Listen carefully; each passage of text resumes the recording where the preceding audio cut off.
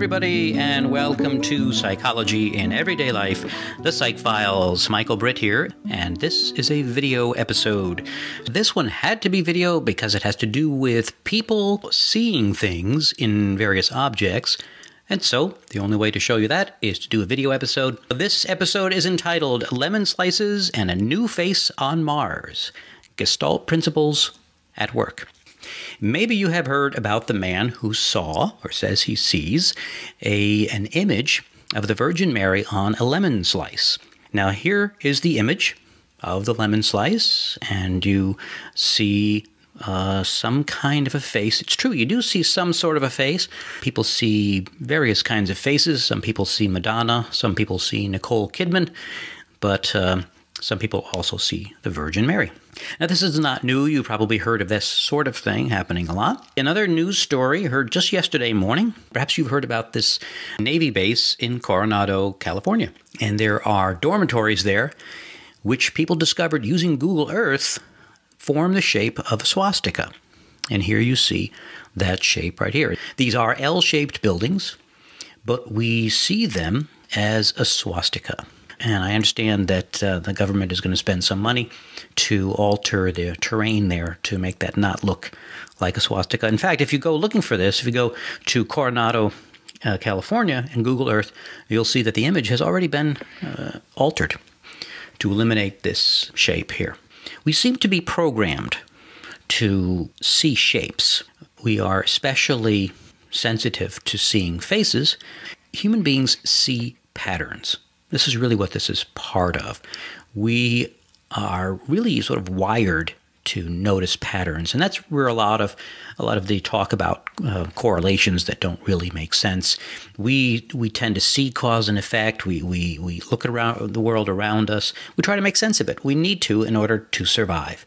So one of those survival tools is the one which allows us to see patterns around us to organize the chaos of the world now, getting back to these images, you may have seen this image.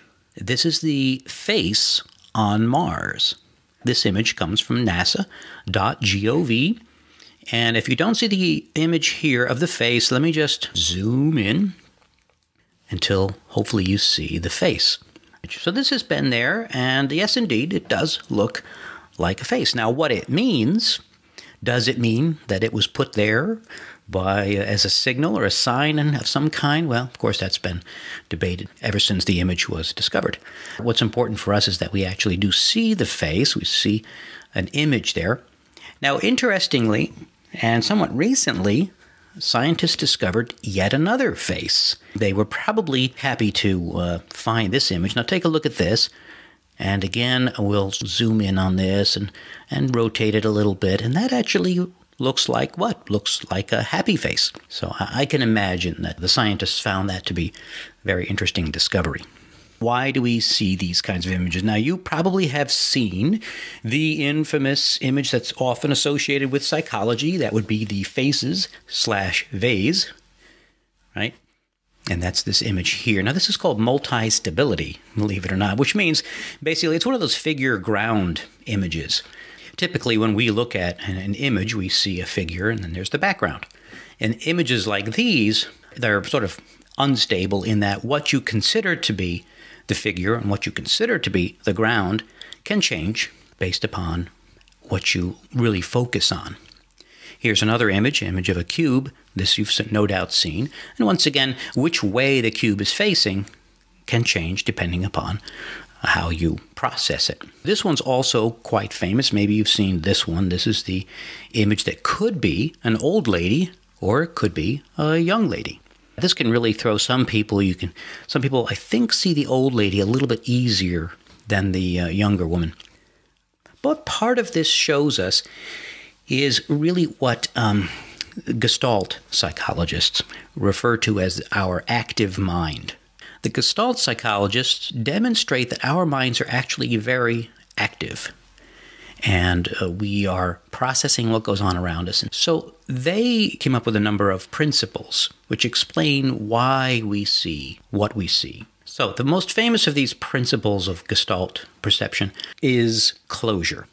And I think closure explains a lot of what we've seen already. Even though an image is not complete, like the face on Mars, we can see it as complete. So here's a here's a kind of a textbook example of closure. These are some of these. I think this image is from Wikipedia. These this is a box and a circle, but of course they're not complete, and yet we see them as complete. One more closure example.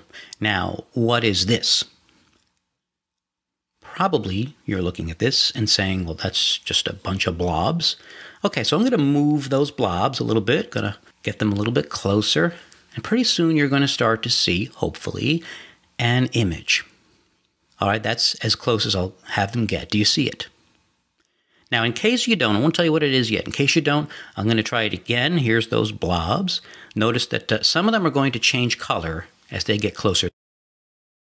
That's it there. Now, hopefully, you see a horse and rider. This is also a somewhat familiar uh, image as well. So, what makes you see a horse and rider is closure. Okay, so that's one principle. The next principle of Gestalt perception is similarity. All right, and here you see a, a sort of, again, a textbook example of similarity. What you probably see here are rows of circles and triangles, right? And that's because we have a tendency to put together things that are similar. And the third principle is called proximity. And here you've got some circles. And again, we are grouping these things because we see a couple of different groups of circles.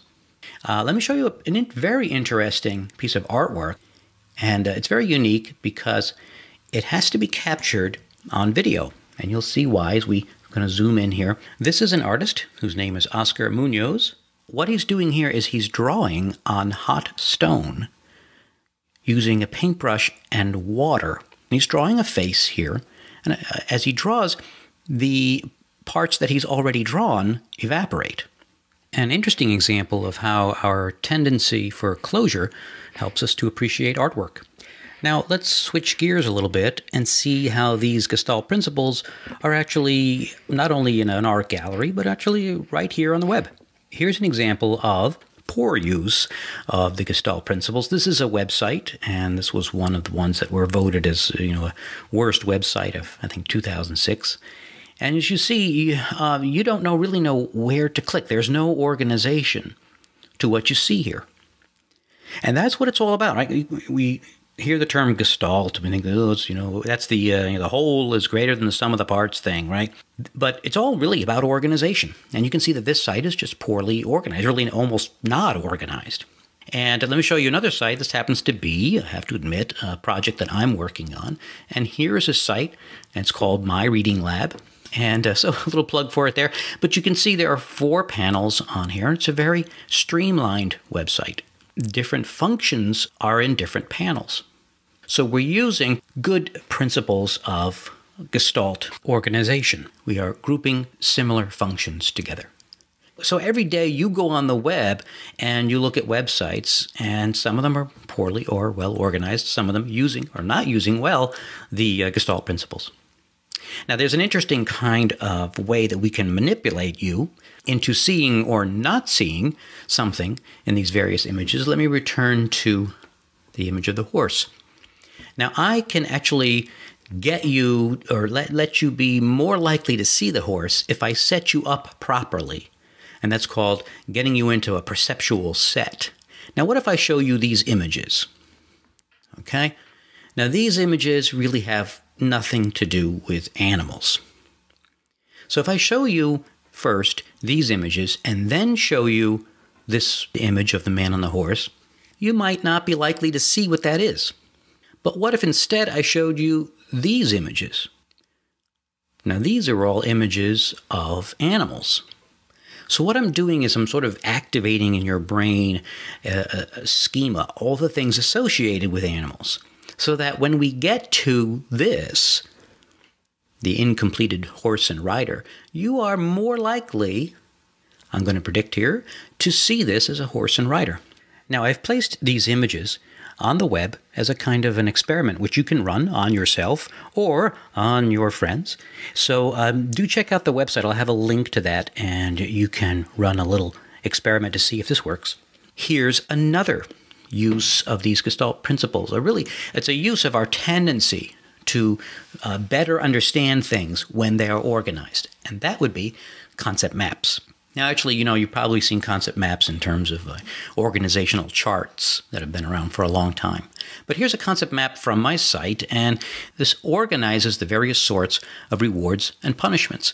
If you really want to understand something, if something seems very complicated and unrelated, try putting things into a map.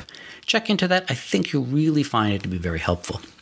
I encourage you to, uh, you know, subscribe to the Psych File, subscribe to other podcasts. Really a fun way to learn and to, uh, you know, get in touch with um, hobbies and interests.